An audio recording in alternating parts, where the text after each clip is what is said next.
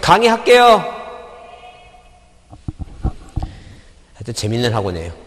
훌륭한 학원이고. 음, 여튼. 그래서 하여튼, 거기, 자, 22번 문제는, 22번 문제는 뭐 살펴보라고, 이제 이거라도 1번이라도 꼭 보라 했어요. 그래서 소유권이 아닌 권리, 자, 이렇게 뭐예요? 소유권이 아닌 자가, 이렇게 소유권이 아닌 자가 무슨 등기나, 말소 등기나 이전 등기 할 때는 무슨 단어가 보이면 등기필 정보가 뭐예요? 없대든가, 아니 뭐예요? 분실했다든가, 대신이란 단어가 나오면 꼭 뭘 내야 된다고? 인감료 꼭 내야 된다. 그거 좀 봐달라 그랬고 23번은 뭐예요?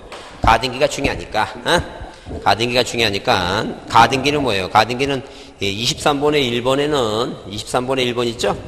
23번의 1번은 자 가등기 이전 등기는 가능하다. 방금 여기 나왔죠? 음, 소유권 이전 청구권의 가등기에 대해서 뭐 한다는 게 이전 등기는 언제나 뭘 하라고 이거 부기 등기한다 그랬어요. 그 다음에 2번은 뭐예요? 동그라미 2번은 자 동그라미 2번은 자, 우리가 뭐예요? 이 용어를 이해해 주셔야죠? 뭐예요? 가처분 등기하고, 어, 가처분 등기하고, 가처분 명령이가 한 게 있다. 가처분 명령. 그러면 우리가 이 시험 보다가 이런 단어를 발견하면, 자, 칠판 보세요. 그러면 가처분 등기가 촉탁 등기예요? 가처분 명령이 촉탁 등기예요? 아, 요거는 단독 신청이야. 어? 자, 따라해 봅니다. 명단. 다시, 명단. 어, 느 학원 가니까 어떤 주부냐면 자기네 집안이 그 일찍 죽는다고 자기는 단명으로 암기하겠다 그래서 그러면 당신 또 일찍 죽으니까 단명이라고 외우지 말고 뭐라고 명단 명단입니다. 가가처 명단 가등기 가처분 명령 단도 가가처 명단 명단이다. 이게 이거 촉탁등기다 촉탁등기. 만약에 이 문제가 나와서 이거 틀리면 전국적으로 혼자 틀리는 거니까 그렇게 생각하면 딱 맞아. 이게 말도 안 되는 얘기지. 하여튼 명단은 단독이에요. 그래서 거기 방금 얘기한 대로 동그라미 2번은 동그라미 2번은 어, 가등기 법원이 가등기 촉탁할 때 일을 수리하는 게 아니라는 게요. 있을 수 없는 얘기예요. 이건 단독 신청이니까 이걸 받아서 법원 가서 가등기 가처분 명령 정본 그 서류를 받아갖고 어, 누가 가등기권자가 단독을 한다는 얘기지. 아저씨가 안 해주니까. 그 얘기죠. 그 다음에 거기서 한번 가등기와 본등기 할 때는 가등기 등기필 정보를 제공한다. 아까 얘기했죠? 어, 아까 얘기했지만 절대 자 누가 이 가등기권자가 어, 가등기권자가 명의가 올라갔으면 가등기 필증을 받았으면 이 사람이 뭐예요? 의무자가 될 때 내는 거지. 이 사람이 본등기 할 때는 뭐예요? 이렇게 이전등기 시험의 학교에서 본등기 할 때는 얘는 뭐예요? 얘는 권리자예요. 권리자가 내는 게 아니라는 거예요. 항상 의무자가 내는 거지. 그래서 가등기, 가등기 뭐예요? 가등기 그 등기필 정보 있죠? 어, 이거는 뭐예요? 권리자가 내는 게 아니라는 게요. 음, 뭐 할 때, 이전 등기 할 때 내지, 어, 본 등기 할 때 내는 게 아니라죠. 그 다음에 거기 4번에 뭐예요? 4번에, 자, 가등기 권리자가 수인이죠? 일부 가등기 권리자가 자기 지분만 나오죠? 그래서 꼭 암기해두자. 뭐라고 나오면, 자기 지분만이란 단어가 나오면, 이렇게 자기 뭐라고, 자기 지분만 이게 나오면, 자기 지분만에 뭐 없다? 보상 없다. 자기 집만에 해서 뭐하고 뭐하고 보존 등기하고 뭐가 안 되는 거예요. 보존 등기하고 상속 등기 이 두 가지만 안 된다. 이 두 가지만. 그러니까 자기 지분 일부 지분만 자기 지분만이 뭐예요? 일부 지분만 있죠? 일부 지분만이란 단어가 나오면 이거는 뭐예요? 이거는 어, 당연히 어, 당연히 뭐예요? 자 가등기에 뭐 본등기 가등기 본등기 있죠? 뭐 가능하다. 자기 것만 본등기 할 수 있다는 거예요. 예, 보존하고 상속만 되니까. 그러니까 이제 올해 법원직 뭐예요? 법원직 승기 시험에 나왔던 문제 중에 하나가 뭐냐면 자 만약에 단도 단도 가등기 단도 가등기 에, 권리자가 권리자가 뭐예요? 단독 가등기 권리자가 그러니까 단독 가등기 권리자가 자 그 권리 에, 그 권리 뭐예요? 권리 일부 지분 있죠? 일부 지분만 예, 일부지만 가등기 뭐예요? 가등기 이전 등기 이전 등기 뭐예요? 가능하다. 이런 게 이제 이런 게 나왔다는 이런 게. 그죠? 그 여기서 중요한 단어가 뭐냐면 단독 가등기 권리자니까 우리가 지금까지 시험, 민법에도 공부하지만 다수의 가등기 권리자 중 1위는 자기 지분만에 뭐 할 수 있어 이거 본등기 가능하다 그랬죠?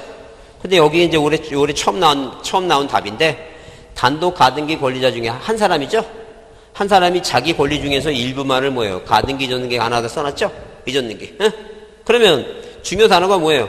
그 권리 일부 지분만 이게 중요하죠? 이게 중요하니까 무조건 일부 지분만 나오면 안 되는 게 뭐라고? 보존하고 상속만 안 되니까. 이거 뭐예요? 이거 맞는 얘기야. 그러니까, 그러니까 시험 볼 때, 시험 볼 때 뭐예요? 한 번도 못 본 거 갖고 고민, 고민하지 말고, 어? 고민하지 말고, 뭐 한 것만, 어, 자, 이렇게 뭐예요? 이렇게. 자, 안 되는 것만 딱 두 개만 외우자는 게, 뭐만 두 개만 하자고, 안 되는 것만 두 개만 외우자, 안 되는 거. 이거 안 되는 것만 두 개만 외우고, 이것만 확실히 하자, 이것만. 그러면, 그럼 우리가, 자, 그러면 우리가 지역권, 어, 어, 지역권 뭐라고 잊었는 게 있죠? 이, 이 지역권 잊었는 게 돼야 안 돼요. 이거 안 되죠? 어? 아, 지역권 잊었는 게 안 되잖아. 안 되는 거 확실히 배웠죠? 그러면 우리가 소유권 잊었는 게 지상권 잊었는 게 이렇게 임차권 잊었는 게 다 되잖아, 지금. 근데 우리가 일부 전등기가 있잖아. 또 특세 일부. 그리고 우리가 이제 그 전세권의 일부 전등기는 전세 존속 기간이 끝나면 자 전세 보증금을 뭐예요? 보증금은 살아 있잖아. 지금 보증금 돌려 달라고. 자 전세권은 뭐예요? 물건이니까 소멸됐으니까 물건이 소멸됐지만 그 전세권을 뭐 해달라고? 어, 전세금을 돌려달라고 하는 그 채권이 살아 있으니까 전세권을 전세금의 일부를 이전할 수 있잖아. 그게 전세권의 일부 전등기야.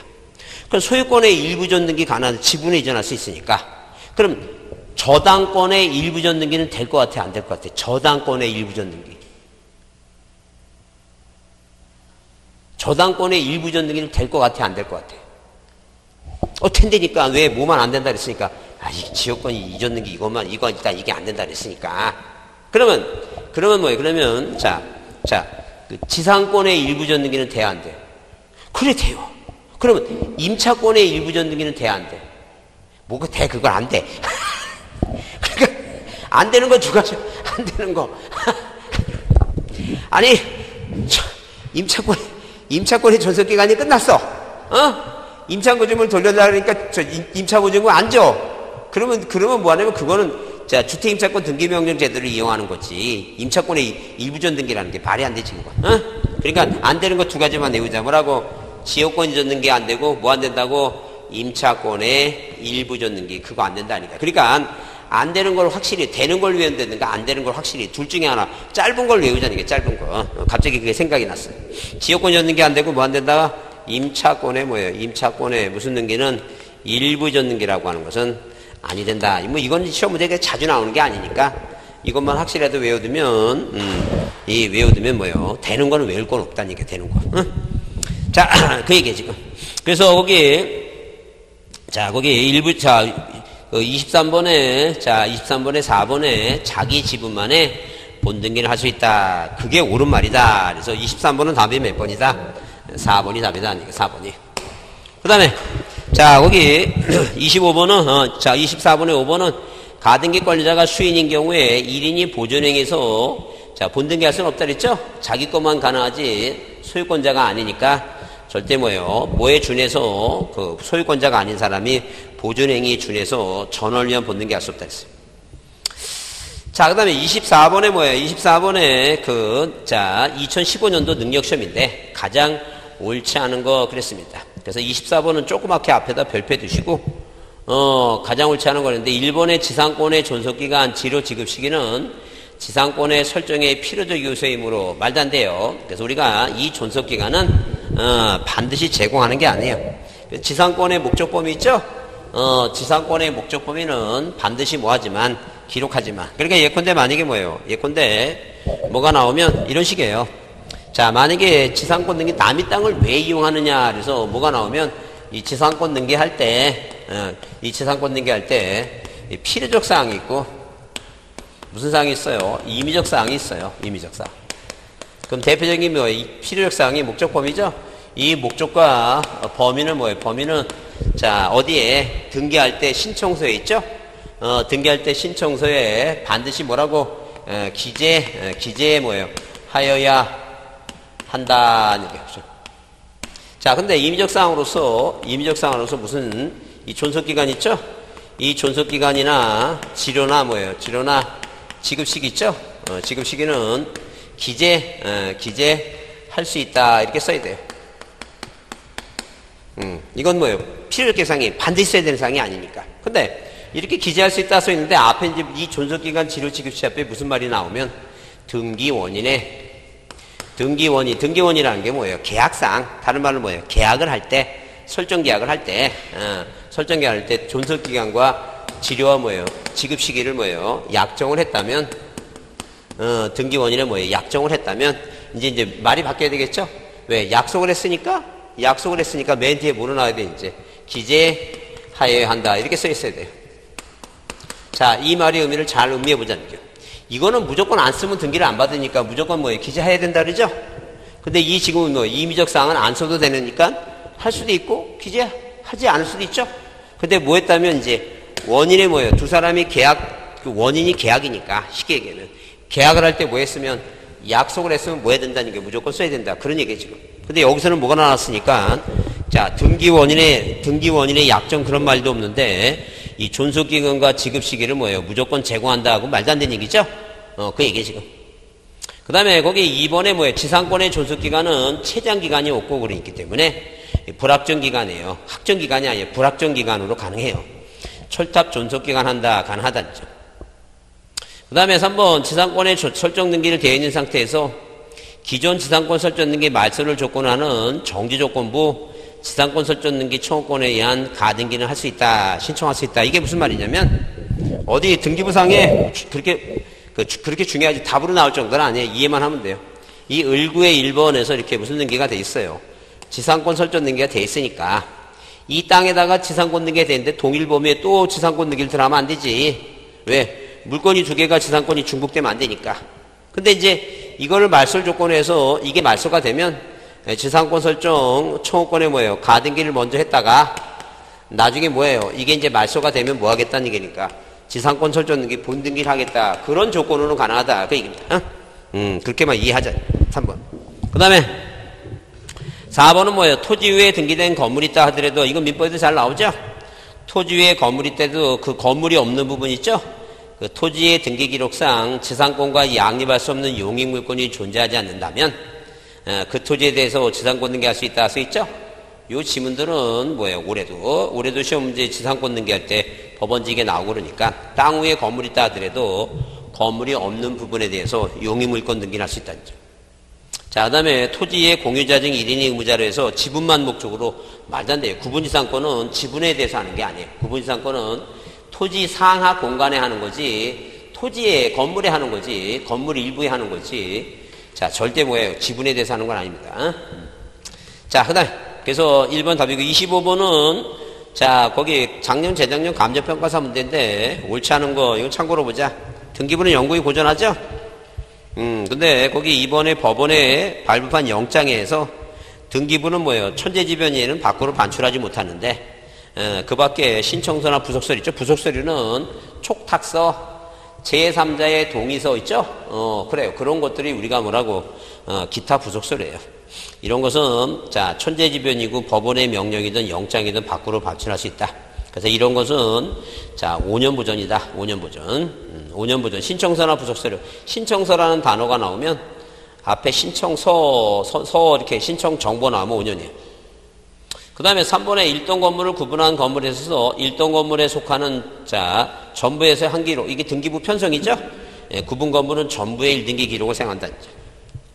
자 4번에 뭐예요? 등기부의 부속서류는 등본교부는 안 되고 자 열람만 가능한데 거기 이해관계 있는 부분만 열람할 수 있다. 출처세 뭐라고? 이해관계 있는 부분만 열람할 수 있다. 근데 거기 등기관의 중복등기 정리는 실체적인 뭐예요? 권리관계에 영향을 미친다 수 있는데 아, 당연히 영향이 없죠. 왜? 자, 이런 식으로 뭐예요? 이런 식으로 토지가 하나 있는데 하나 있는데 이 보존 등기가 두 개가 있다. 1번에서 소유권 보존 등기 갑이고 1번에서 이렇게 소유권 보존 등기가 두 개가 있어요. 그러면 등기부 두 개 중에 하나 선등기가 우선하니까 이거 말씀시켜 버리죠? 중복 등기를 정리한 것은 이 부동산에 자 권리관계에 뭐예요? 영향을 미칠 그 소유권자가 누군가 어, 진짜 소유권자 찾아주고 어, 자 등기부를 정리한다는 측면이니까 영을, 영향을 미쳐야 미치지 않아 이거 미치지 않는다 그죠? 음, 참고로 보시고 자 26번은 중요하죠 보존등기 어, 자 2014년도 법무사 문제인데 자 거기 꼭 별표 주시고 어? 별표 주시고 봐주자 그러면 26번은 뭐예요? 소유권 보존등기인데 그래서 일단 24번은 음, 24번은 자 24번은 어, 답이 뭐예요? 답이 1번이고 자 25번은 뭐예요? 25번은 답이 몇 번이고 5번이고 자 26번은 보존등기인데 이 소유권 보존등기는 좀뭐좀 외워두자는 게 보존등기는 일단 보존능기를 할 수 있는 자. 물론 객체는 예, 보존능기 어, 거의 요새 매년 나오겠죠. 보존능기. 객체는 절대 뭐예요? 부동산 뭐에 대해서 일부에 대해서 등기할 수 없다.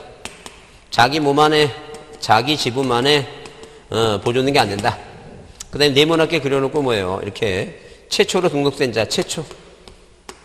자 그 다음에 이 사람이 돌아가시면 상속인. 자 그 다음에 이 사람한테 포괄 유증 받은 사람. 포괄 뭘 받은 사람? 유증을 받은 사람. 음, 그 다음에 토지는, 음, 토지는 국가로부터 어, 소유권 이전 등록된 자. 그 다음에 건물은 뭐예요? 건시군. 음, 건물은 특별자치도지사, 시장군수구청장한테, 시장군수구청장한테 뭐예요? 확인받은 사람. 자, 그러면 이거 이제 대장 갖고 등본, 자, 저, 보존등기 하는 거 외우고. 그 다음에 예, 판결 나오면 안 되는 판결, 건국판 있죠? 건물은 뭐예요? 하여튼 판결이라는 단어가 나오면 음, 건국판 건물은 건축주나 국가 상대로 판결받으면 안 된다는 거죠. 그 다음에 원인이 없다 그랬죠. 등기 원인이 없다 그랬죠. 그 다음에 이제 뭐예요? 그 다음에 자 촉탁 오면 뭐예요? 가압류, 가처분, 경매, 주택임차권의 등기명령 촉탁하게 되면 직권보존등기 한다 그랬죠. 직권보존등기. 직권, 소유권보존등기. 자 이렇게는 좀 생각을 해야 된다는 거예요. 왜? 중요하다 그랬으니까. 올해도 나와요. 또 나오니까. 그래서 거기 음, 자 1번에 뭐예요? 토지대장상에 최초로 등록된 자로부터 포괄유증 맞죠? 포괄유증. 그러면 토지대장상 토지대장상 소유자가 특정할 수 없을 때는 뭐예요? 토지는 국가 상대로 소유권 확인 판결 이거 맞아요. 왜? 그 판결 얘기 나오면 거기 3번처럼 뭐예요? 판결 얘기 나오면 뭐라고? 건국판, 건국판, 건물은 건축주나 거기 건축주, 동그라미 건축주. 어, 그 판결 나오면 건축주 안 된다니까. 국가나 건축주. 건물은. 그게 답이라는 거예요. 자, 그 다음에 건축물 대장에 등록된 소유자를 상대로 소유권 확인 판결 받았죠? 어, 소유자를 상대로 하지. 건, 국가 상대로 하는 게 아니라 건축주가 아니라 소유권 상대로 하라. 아니면 지자체 상대로 하라. 지자체. 그 다음에 5번은 뭐예요? 건축물 대장에 생성된 건물에 한해서 음, 대장이 만들어진 건물에 한해서는 자 누굴 상대로 건시군 특별자치도의사 시장 군수청장 얘기해요. 어? 그래서 꼭 자 보존능기 올해도 나오니까 어, 자 요렇게 객체부터 먼저 쓰게 암기하고 네모나게 그려놓고 뭐예요? 대장 가지고 최초 상속인 포괄유증 뭐예요? 땅은 국가로부터 이전 능도 건물은 건시군 그 다음에 판결 갖고 판결은 뭐예요? 판결은 꼭 뭘 건국판만 안 된다 뭐만 안 된다고? 어, 건국판만 안 된다. 건축주나 국가 상대로 하면 안 된다. 이렇게, 이렇게 외워야 됩니다. 어? 음, 음, 좀 쉬었다 하겠습니다.